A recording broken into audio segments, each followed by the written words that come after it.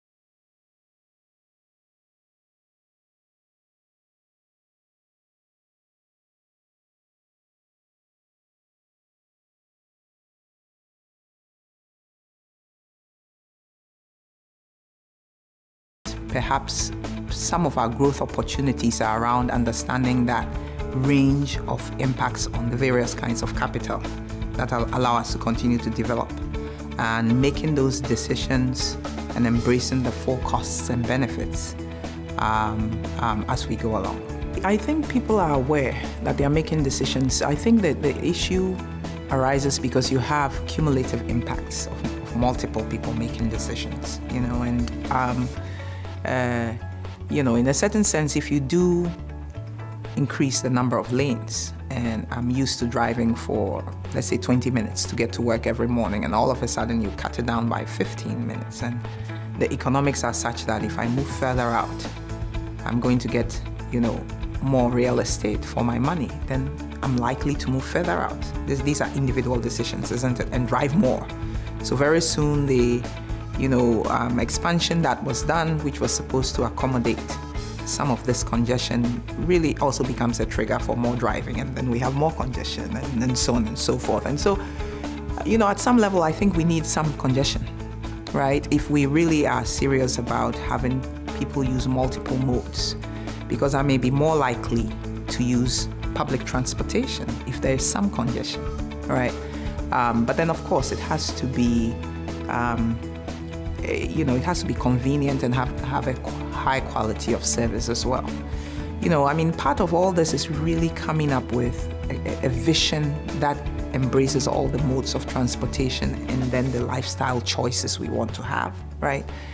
Um, putting down some policies that embrace them all so that we understand, for example, perhaps what levels of congestion we think are appropriate for a certain modal split, right? Um, uh, and then really understanding the, the full costs and the fact that if we are not able to quantify the costs, it doesn't make them go away. So we have to incorporate them in the decision making somehow, you know, and um, uh, and then embracing it with some maturity and moving forward because I don't think the problems we talk about should surprise us because we created them.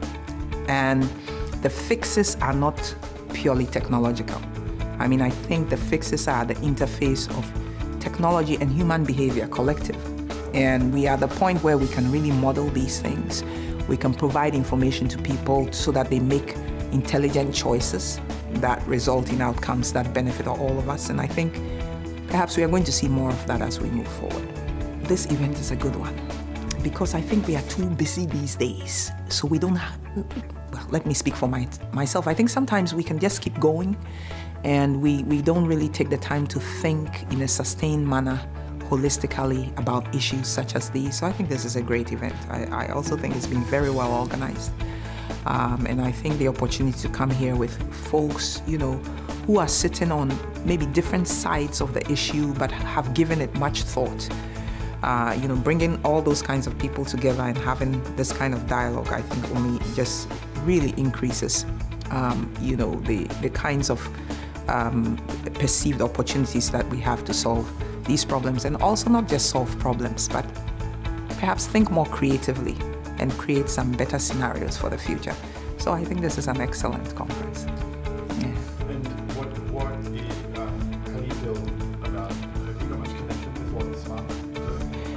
Well, this is the first time I heard about SMART, but I think that's great because it means I can build some, uh, hopefully, some nice collaborations with some of the folks um, here because I mean, I think that uh, this, you know, penchant uh, of looking at infrastructure as a transformative agent, I think it's one of the ways we have to go.